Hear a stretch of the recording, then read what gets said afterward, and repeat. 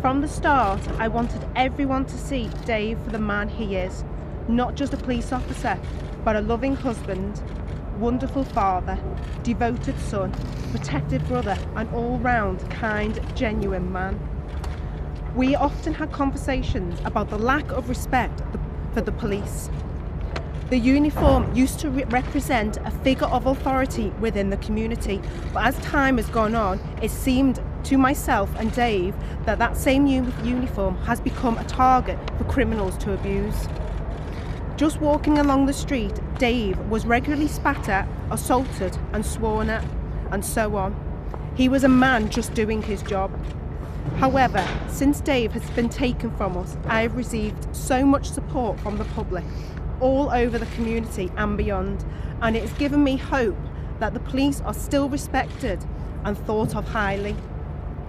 I want to thank you all from the bottom of my heart for all the kind words, letters, cards, gifts and donations. I feel completely overwhelmed by it all and it's helped me through this terrible, dark time. I have kept every single card and letter so when my girls are older, they can read them and see how loved and respected their daddy was.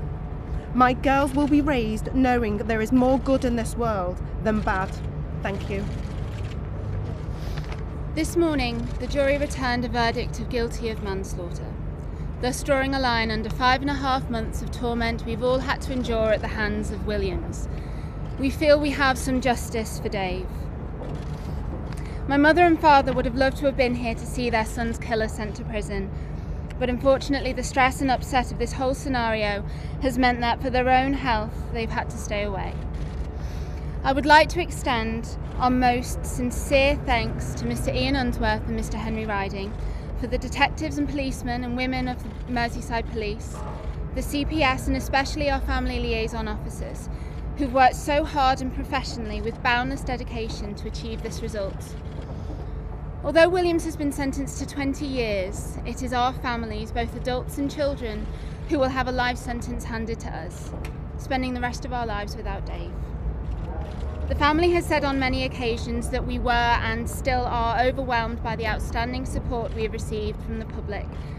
So I make no apologies for repeating these most grateful thanks to you now, but ask also that we are given time and space to allow us to grieve and try to come to terms with all that has happened over these last months. Thank you.